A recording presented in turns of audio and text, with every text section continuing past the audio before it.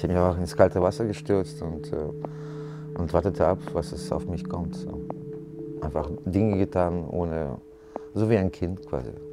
Ich würde gerne ähm, so äh, beschreiben wie fermentieren.